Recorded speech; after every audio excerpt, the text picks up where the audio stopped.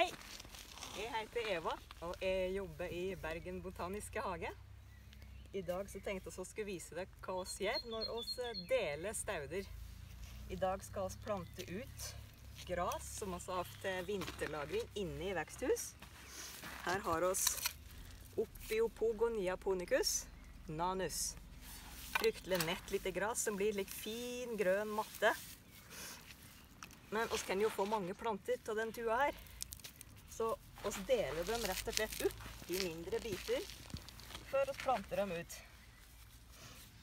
Skarp redskap. Det ser litt brutalt ut.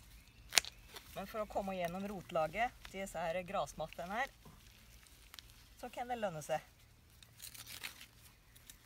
En gammel kjøkkenkniv eller ei skjemsag fungerer helt supert.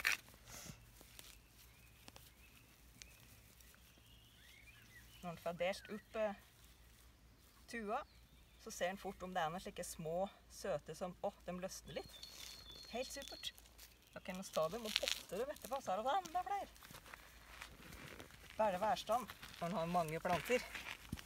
Og da er det greit at de har med seg en slik liten rotbit, og at de ikke tørker ut, så jeg gjemmer dem bak der mens vi rir på.